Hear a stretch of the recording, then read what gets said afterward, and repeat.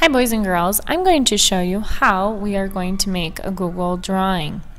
So first I go, need to go to my drive and then from my drive I'm going to click create. Now I normally I use create when I'm making a document presentation but I can go all the way down to drawing. I'm going to click on drawing and it's going to leave me with a blank page. The first thing I have to do is title it. So you decide on the, the title.